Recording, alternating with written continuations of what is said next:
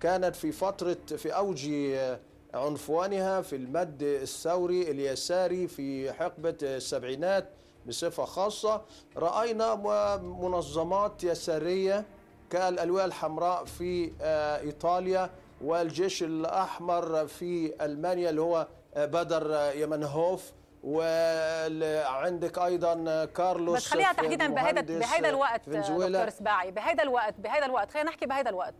بهذا الوقت كيف عم بتكون آلية استقطابهم؟ شو الشعارات اللي عم تنقل لهم لينضموا؟ أنا لا اسمعي اسمعي أنت ستقاطعين وأنا أجيب كما أريد أنا لا تجيبي كما أنت مش أنا جاي هنا شاهد لحظة زور لحظة. أنا باخدم الفكرة التي أريدها. نحن بنحترم إنه ما حضرتك هذا الأسلوب؟ بتمنى إنه ما تنفعل. نحن بنحترم حضرتك إنه بدك تعطي إجابة وافية. بس للأسف وقتنا قصير. أنا اتفقت مع الأستاذ إبراهيم حربي. طيب تفضل تفضل اتفقت مع الأستاذ إبراهيم حربي. ألا تقاطعي؟ تفضل أعطونا شباب. تبيني لنفسك إنك تفضل تفضل بدون ما توصفني. تفضل أنا أخدم الفكرة التي أريدها. أنا هون سيد الاستوديو وسيد الكلام لو سمحت أنا عم بقول لك قصة الوقت لأخدم لك إجابتك. إذا ما نتوسع كثير بالإجابة ما راح يكون في عندنا وقت لبقية الأسئلة. إذا بدنا نرجع بحقبات تاريخية بعيدة ما راح يكون عندنا وقت لنخدم الموضوع. الشغلة واقفة عليك.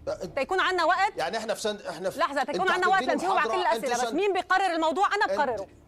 أنا هون بقرره. قرري لا قرري ولا تقرري هذا لاختيارك. أنا هنا أفعل ما اشاء أنا أيضا.